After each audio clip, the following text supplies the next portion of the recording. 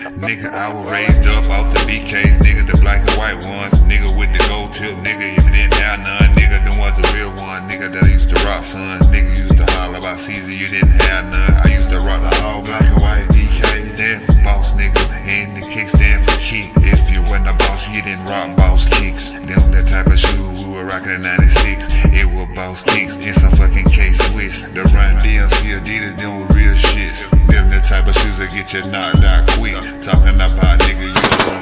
shit.